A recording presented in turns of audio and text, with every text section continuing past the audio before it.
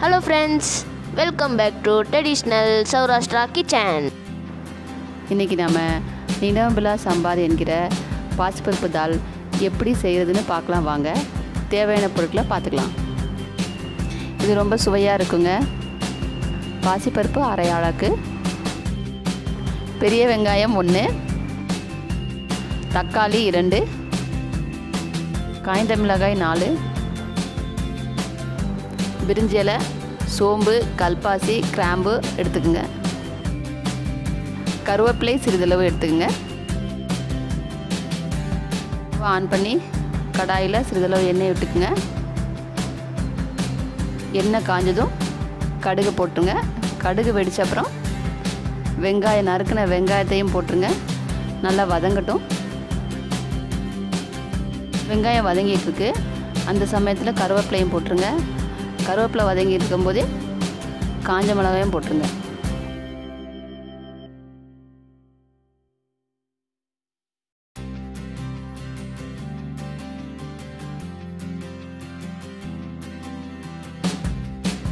பாருங்கள் வெங்காயம் நல்லா வதங்கிடுச்சு.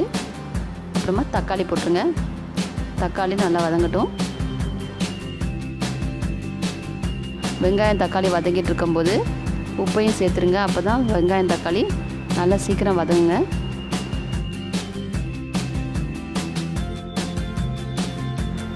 மசாலாவையும் சேர்த்துக்குங்க.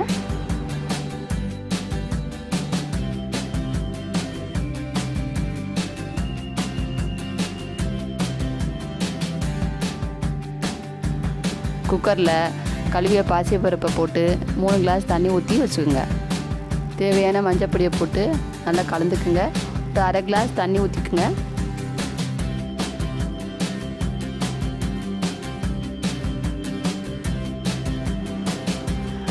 வெங்காயம் தக்காளி வதக்குனதையும் குக்கர்லேயே போட்டுருங்க. போட்டு குக்கரை மூடி வச்சுட்டு ஒரு விசில் வந்த அப்புறம் சிம்லேயே வச்சுருங்க. அஞ்சு நிமிஷத்துக்கு. அப்புறம் ஆஃப் பண்ணிட்டீங்கன்னா ஒரு அஞ்சு நிமிஷம் கழித்து பார்த்தீங்கன்னா பாசிப்பருப்பு தால் ரெடி ஆகிடுங்க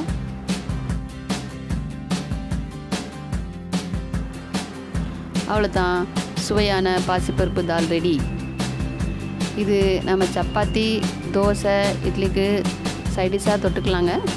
விதவிதமாக செஞ்சு சாப்பிடுங்க. ஆரோக்கியமாக இருங்க. சித்து சாப்பிடுகிற ஒவ்வொரு உணவும் உடலுக்கு தேவையான சத்துக்களாக மாறும். நன்றி. இந்த வீடியோ பிடிச்சிருந்துச்சுன்னா லைக் பண்ணுங்கள் உங்கள் ஃப்ரெண்ட்ஸ் அண்ட் ரிலேட்டிவ்ஸோட இந்த வீடியோவை ஷேர் பண்ணுங்கள் கமெண்ட் செக்ஷனில் உங்கள் சஜஷன்ஸை சொல்லுங்கள் மறக்காமல் ட்ரெடிஷ்னல் சௌராஷ்டிரா கிச்சன் சேனலுக்கு சப்ஸ்கிரைப் பண்ணணுன்னா சப்ஸ்கிரைப் பண்ணிக்கோங்க. பக்கத்தில் இருக்க பெல் ஐக்கானையும் ப்ரெஸ் பண்ணிக்கோங்க. வயிற்றில் பசி நாவில் ருசி. மீண்டும் அடுத்த வீடியோவில் சந்திப்போம்.